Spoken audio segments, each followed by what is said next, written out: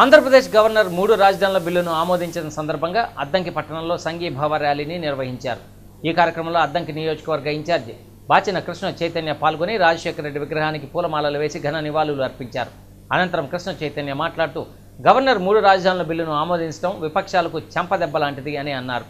అన్ని ప్రాంతాల అభివృద్ధికి మూడు రాజధానులు ఏర్పాటు అని కృష్ణ చైతన్య తెలియజేశారు. గత తెలుగుదేశం పార్టీ హయాంలో రాజధాని పేరుతో చంద్రబాబు నాయుడు ప్రజల దగ్గర నుండి లక్షల కోట్లు వసూలు చేశాడని కృష్ణ చైతన్య ఆరోపించారు. ఈ సందర్భంగా గవర్నర్ మూడు రాజధానుల బిల్లు ఆమోదం తెలియజేయడంతో చంద్రబాబు నాయుడు భయం పట్టుకొని కృష్ణ చైతన్య ఎద్దేవా చేశారు.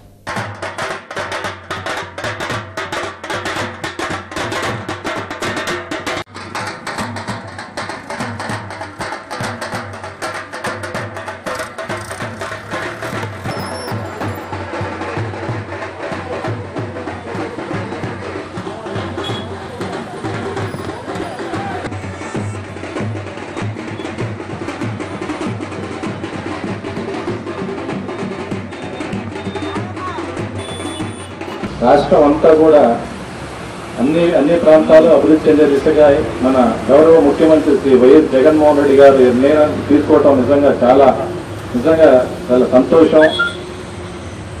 ఆయన ఒక ప్రాంతానికే కాకుండా అన్ని ప్రాంతాలు కూడా బాగుపడాలి. యావత్ రాష్ట్రంలో ఉన్న ప్రజలందరూ కూడా అన్ని విధాలుగా అభివృద్ధి చెందాలనే దిశగా ఆయన ఆలోచన చేయడం చాలా గొప్ప విషయం. దీనికి అందరూ ప్రతి ఒక్కరు కూడా మద్దతు ఇవ్వాలని అందరికీ మన గౌరవ ముఖ్యమంత్రి శ్రీ వైఎస్ జగన్మోహన్ రెడ్డి గారికి మన సంపూర్ణ మద్దతు ఇచ్చి ఆయనకి అండగా ఉండాలని అలాగే మన అన్ని ప్రాంతాలు కూడా అభివృద్ధి పరచుకోవాలని అందరినీ కోరుకుంటూ అందరికీ కోరుకుంటూ అలాగే ఈ కోవిడ్ దీనివల్ల ఎక్కువ ఎక్కువగా మనం జన సమీకరణ చేయకూడదు అనుకున్నాం అందుకే ఒక ఒక నలభై యాభై మందితోటే మనం